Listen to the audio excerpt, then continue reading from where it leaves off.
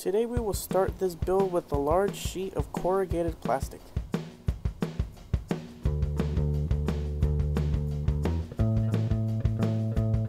This stuff is great to build with and most importantly, non-toxic. I carefully cut them into two rectangle shapes. One side will be our water inlet and one side will be our water outlet.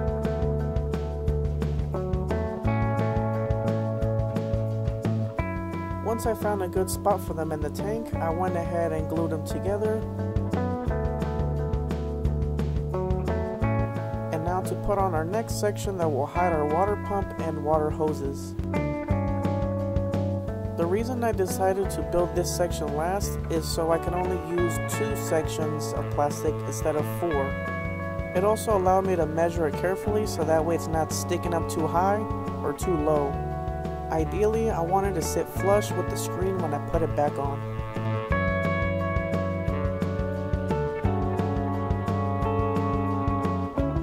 After gluing on one side at a time and filling in any extra cracks with some more glue, this is what you're left with.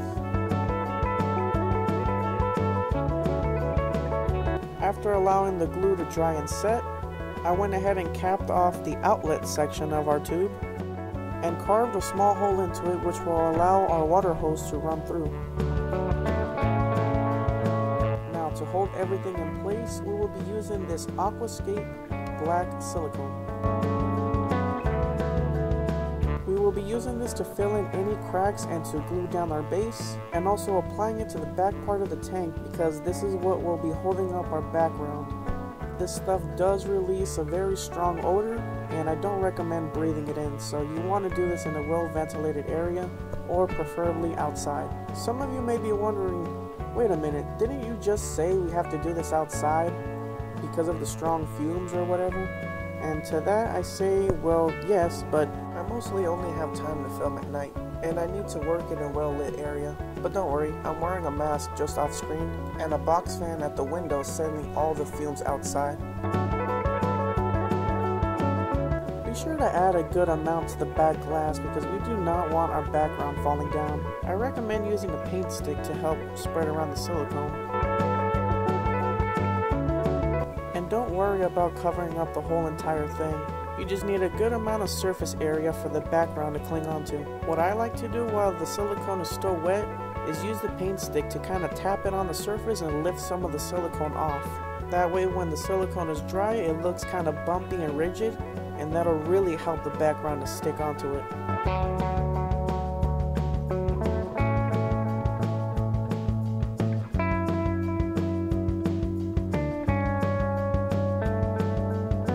Like I said before, this silicone does release a very strong odor, so we're going to go ahead and take this outside and leave it to dry for at least three days.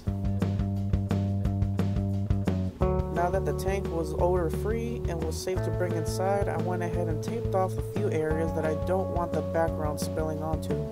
And here you can see the silicone looking almost kind of rugged and spiky almost. That's the consistency that you're looking for. Uh, what we will be using to make our background out of, I will be using this black pond and stone expanding foam. Hey, that rhymes.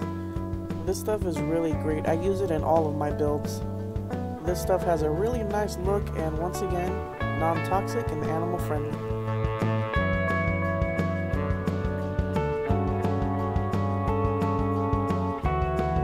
Now before I apply the foam, I will be adding small pieces of dry driftwood this will help bring the background to life and just give it an overall nice look.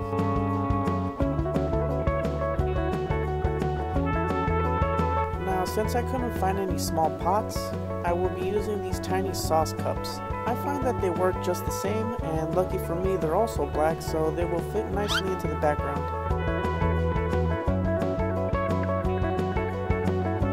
Now to set up the driftwood and the cups in a way that looks nice before we start applying the spray foam.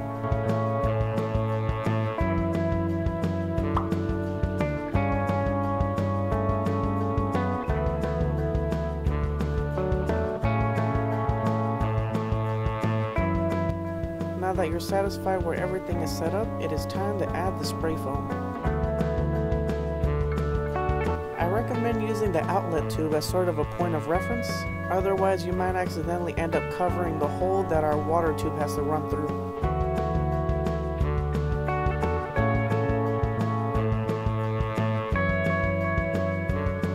We want to go ahead and try and cover up the black silicone as much as possible.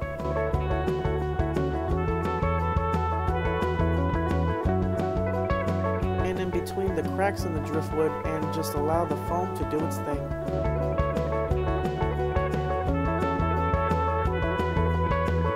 The foam is still wet, but as you can see it's coming out very nicely. Be sure to also cover the white section that hides our water pump and water hoses, but be sure to leave the bottom ones alone. Now that everything is nicely sprayed over, go ahead and let it rest for at least 24 hours.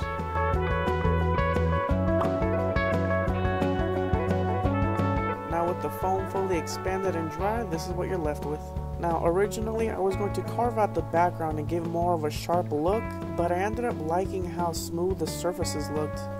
It kind of reminds me of dry lava, so I will be leaving that alone for now. Now with our background set up and ready, it is time to move on to the bottom layer of the tank, which will be the substrate. I'm going to be going half water and half substrate for this build, so of course we need something to separate the two. For that we will be using some mesh filter. Now unfortunately for me I ended up getting the wrong one, ended up being a little bit too thin. So what I did is I cut one piece to the shape that I needed and then I went ahead and cut another identical piece and glued that on top of each other. Just doing what I can with what I got. Now for this one I want to give it more of a wavy look versus just a flat straight line. So I'm going to go ahead and set up this mesh and glue it down and show you what that looks like. Now with our filter mesh set and glued down, we can go ahead and move on to the first layer of the substrate. But first I want to pass the water tube through the hole that we made that will be our water outlet.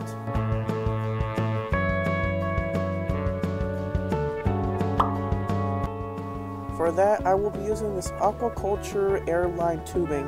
It's mainly used for air pumps, but it works for water just as good. I recommend getting one end and passing it through the hole first before cutting it. It's better to have too much sticking out than too little.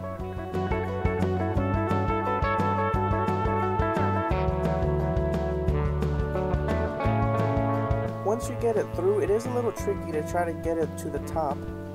So I used a long pair of feeder tweezers to help fish it out.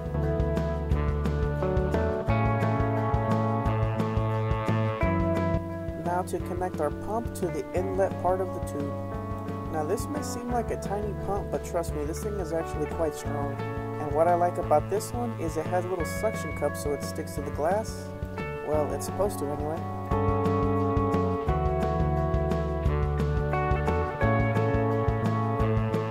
And another cool thing I like about this pump is the fact that it's USB powered. You can literally plug it into anything that has a USB port and it'll work just fine. But today I'll just be using a standard brick to power our pump.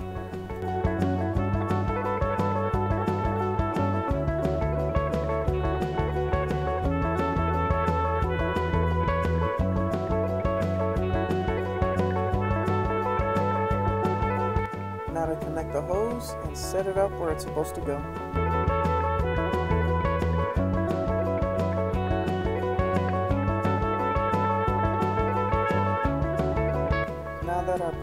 Place, you want to make sure that none of the hose is sticking out the top.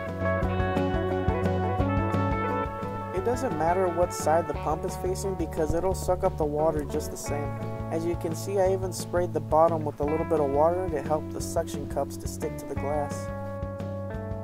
Now that we have our water pump and water tubes properly set up, it is time to move on to the first layer of our substrate. For that, we will be using these clay balls, also known as Leca balls, balls, as our first layer of our substrate. Now to set this down and a little bit of editing magic later, we have our first layer of Leca.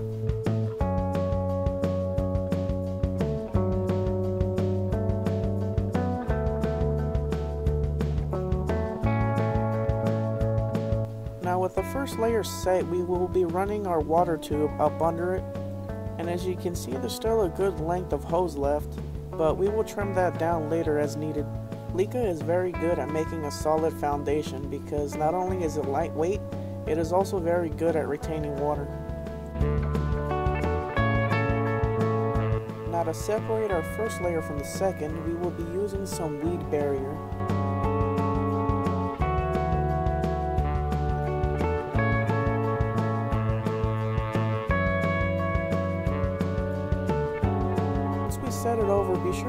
Into any little nooks and crannies, especially the back part over there. Now let's set that up and I'll show you what that looks like.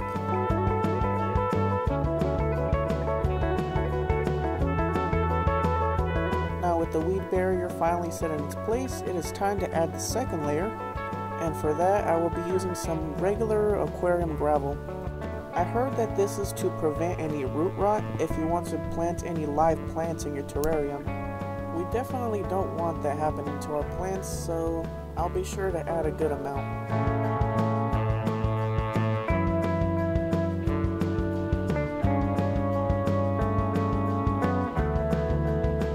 As you can see, I try to use building material that you can find at like your local Walmart or hardware store. Because as rare as it might sound, I know not everybody has access to like Amazon or online stores.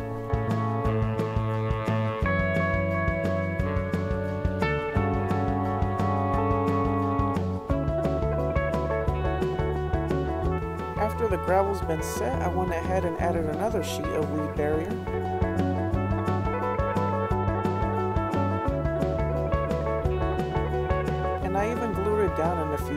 Just to keep it from moving.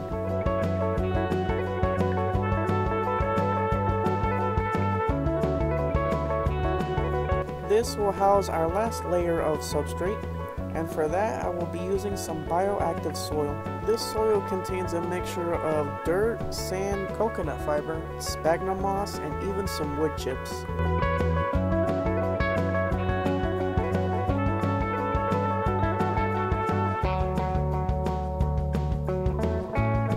I will dump out the contents, mix it around, and spread it around evenly over the mesh.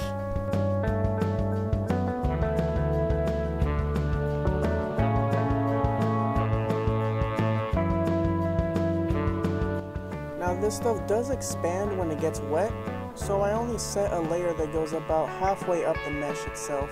You can see I didn't mix up all the sphagnum moss because I want to use some of it as stuff in our little sauce cups up here. Sphagnum moss is also really good at retaining moisture, so they'll make nice little areas for if you want to plant little plants in here, or if you want to just have a nice little damp hiding spot for small animals to get into. But it's also very flaky, so try to keep it in your substrate area and to not have any fall in the water area. So just be sure to use as much as you need and then take out the rest.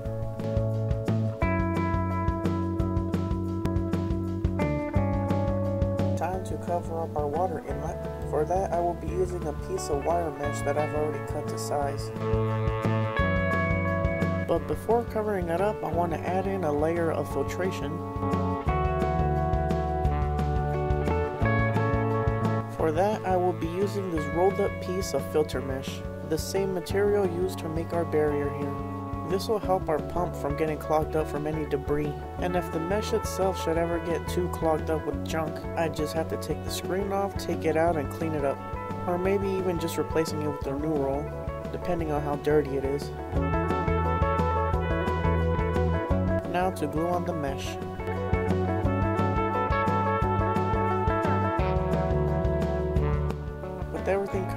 In its place, we can now finally begin to work on our rock wall and also positioning our hose and cutting away any extra material we don't need.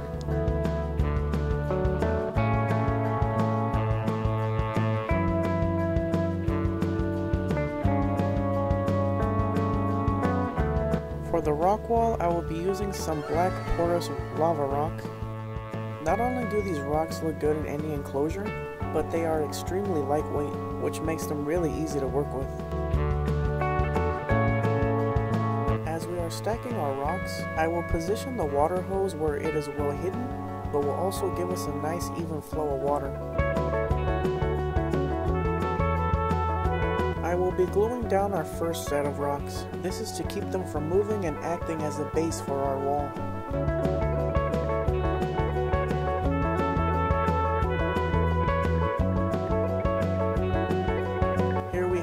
First row set, and as you can see, each rock is glued to one another. What I like to do first is find a spot where the rock will sit on its own, removing it, applying the glue, and then sticking it on.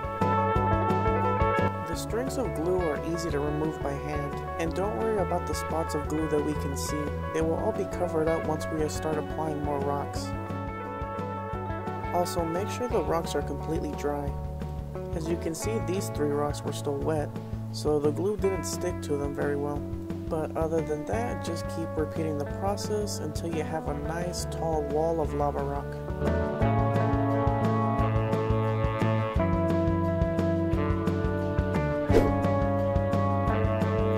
After a lot of stacking, rocks, and glue, we finally have our wall complete.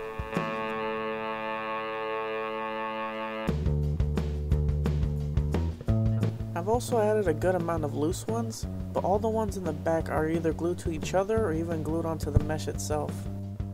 As you can see, I trimmed down our water hose and have it hidden behind some loose rocks. I made sure not to glue down the hose itself because I want to be able to position it and move it freely. I was originally going to use gravel for the bottom, but I ended up changing my mind halfway and decided to use sand instead, which is why in the next scene you might see bits of gravel scattered around.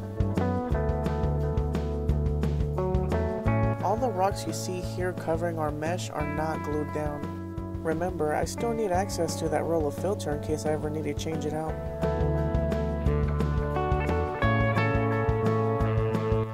Now for the bottom we will be using play sand.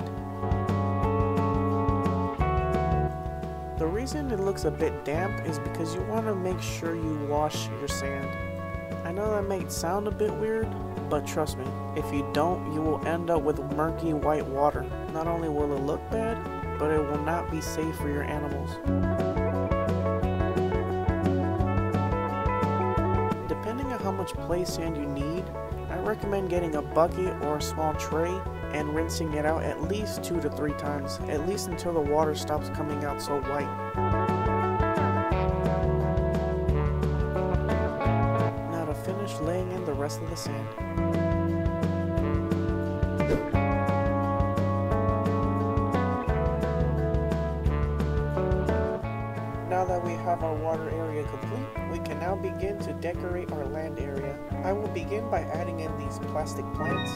By some real plants. Now the reason I'm adding the plastic ones first is because I will be adding in the water to get the soil damp and ready for any kind of digging and planting. And now to carelessly throw all these plants in here, and oh, would you look at that? They all just so happen to place themselves in here nicely.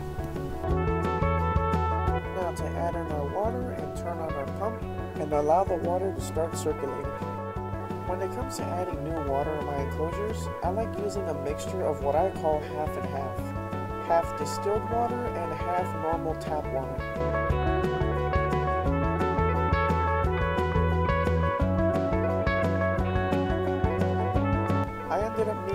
Gallons for this build, so that would be 2 gallons distilled and 2 gallons of regular tap water. The reason behind that is because distilled water has no minerals and is pure water, whereas tap water has some chlorines in it. So a mixture of the two allows for quicker and safer water that you don't have to let sit around for as long. But we still want our water to settle and give the substrate a chance to absorb some of the water. But now that we've added it, it is safe to turn on our pump.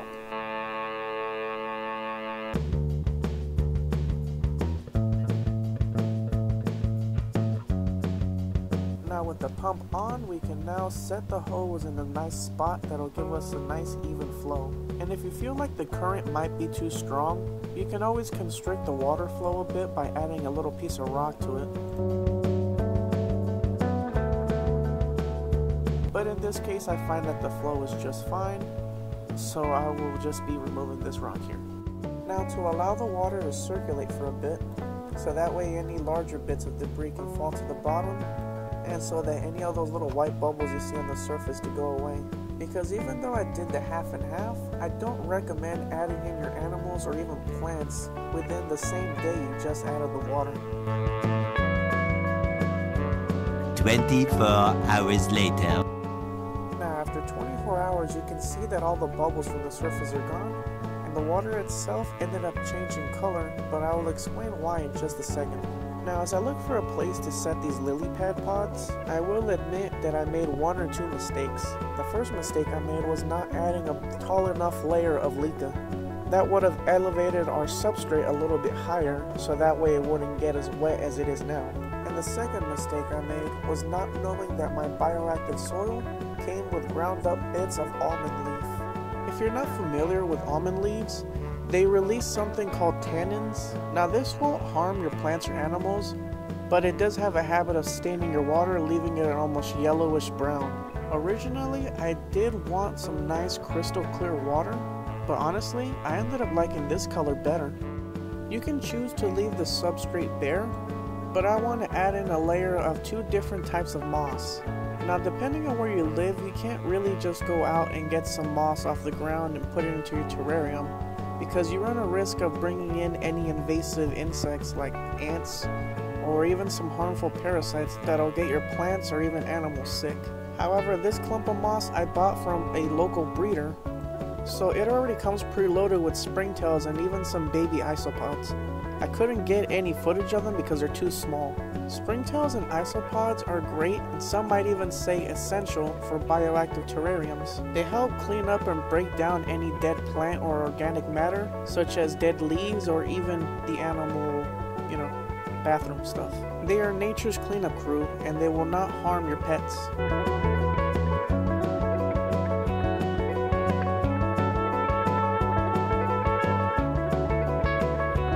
To add some floaters into the water, be sure to only add a few at a time because depending on which floaters you decide to use, these multiply like crazy so later on in the future you might have a bit too much.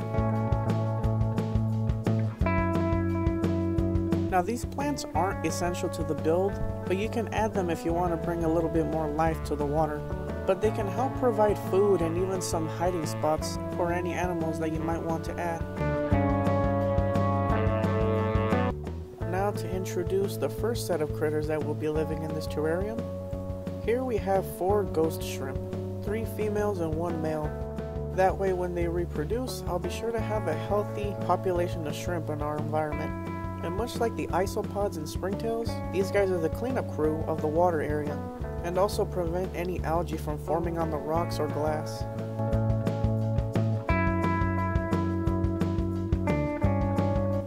I've already acclimated these guys to the water conditions, so let's go ahead and place them in. As you can see, they immediately start looking for places to hide, so the cracks in between the rocks will be perfect for them.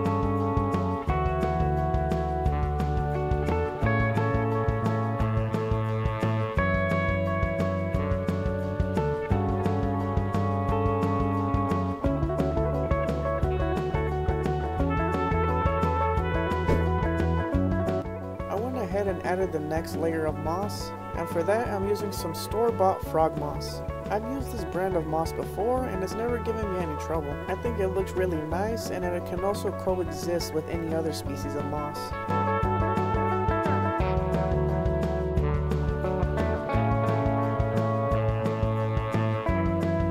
I also added in a mini water filter just to help speed up the water filtration process a bit.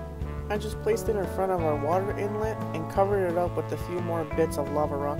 I took out the floater so you can see that it actually does seem to be helping clear up the water a bit. So I'll be leaving it in there for now. Now we can finally begin adding in the live plants. Here we have a mix of aquatic and land plants. I made sure to get some plants that will do good in wet conditions and that are animal friendly. So make sure to read the tags before getting them. Best part of building your own terrarium is you can get creative with it. So feel free to add the plants or make any kind of landscape that you want. You don't have to follow my design 100%. Whether that be leaving the substrate bare or adding moss, adding all plastic plants or all live plants. Because remember, as much as we want our animals to be happy in their new home, ultimately we're building these for us, really. It's a good feeling to watch my pets live happily in a home I've built for them from scratch. Also, before adding the plants, be sure to shake off and wash off the dirt that they already come pre-planted in. We don't want any extra chemicals or fertilizers in our water, we just want them to grow off of the substrate we have for them. I will stop talking for a minute so you can watch as I set up my plants.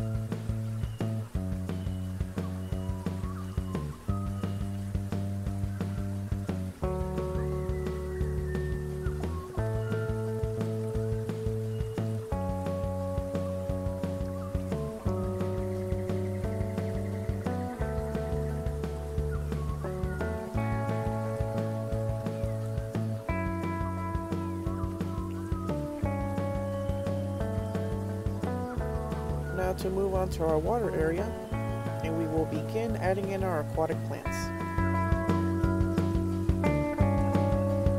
Some of these we will stuff in between the cracks in the rocks, and some of these we will place on the bottom in the sand. I took the floaters out so that they wouldn't get in the way as I try to install the plants.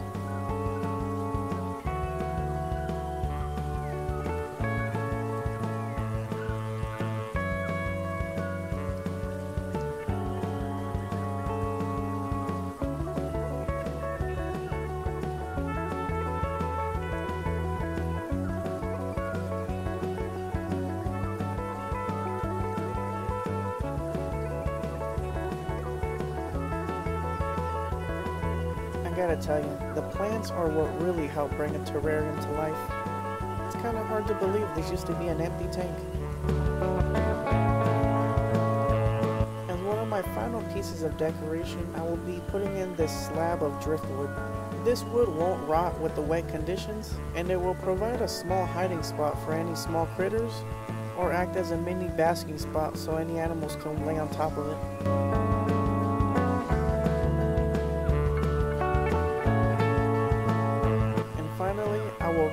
Piece of artificial vine around our power cord to cover it up a bit.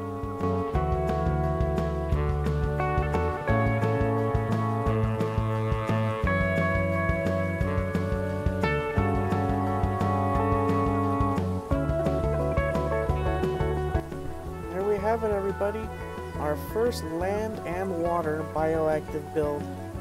Can't say it was super quick and super easy to make, but I'm glad I did. Habitat like this will be perfect for frogs, semi-aquatic lizards, salamanders, anoles, basically any animals that like a warm tropical environment. With enough water and proper lighting, this ecosystem will basically take care of itself with little to no maintenance.